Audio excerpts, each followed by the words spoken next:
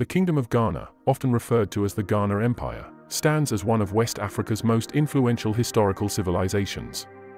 Flourishing from the 4th to the 13th century, the empire was renowned for its vast wealth, sophisticated administration, and extensive trade networks.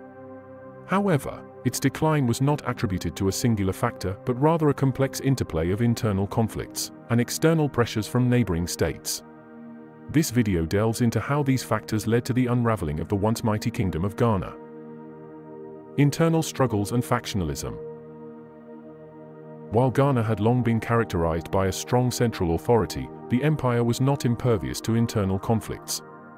The power struggles among the various factions of the ruling elite often led to fragmentation and weakened governance. In the latter stages of the empire, these internal divisions became more pronounced. Regional rulers began to assert greater autonomy, challenging the authority of the central government and diluting its ability to maintain order. Furthermore, competition for the throne exacerbated internal strife. Succession disputes within the royal family often resulted in armed conflicts that diverted resources and attention away from the empire's administration and defense. These internal power struggles weakened the cohesion of the empire and sowed the seeds of its downfall economic pressures and resource depletion. The Kingdom of Ghana had achieved great prosperity through its control of the trans-Saharan trade routes, particularly the gold-salt trade. However, this immense wealth attracted the attention of external powers and neighboring states that sought to gain control of these lucrative trade networks. The empire's position as a major trading hub made it susceptible to constant economic pressures and territorial ambitions. As competing states emerged, they sought to bypass Ghana by establishing alternative trade routes. This economic encroachment severely impacted Ghana's revenue streams and weakened its once dominant position in the trade network.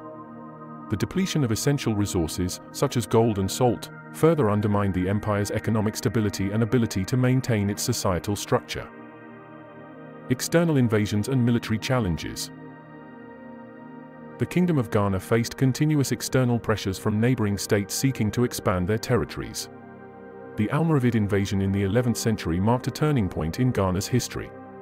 The Almoravids, a Berber Muslim dynasty from North Africa, launched a series of military campaigns aimed at converting the Ghana Empire to Islam.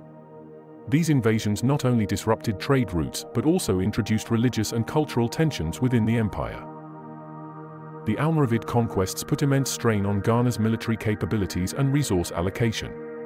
Subsequent external threats, including those from the Mali Empire, further weakened the empire's defenses. The inability to effectively counter these invasions contributed to Ghana's decline as neighboring states continued to assert their dominance.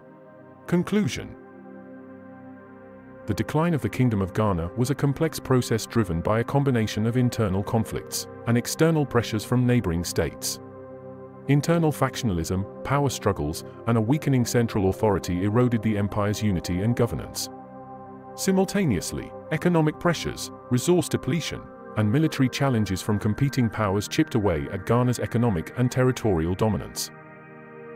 While the Ghana Empire's decline marked the end of an era, its legacy continues to influence West African history and culture to this day.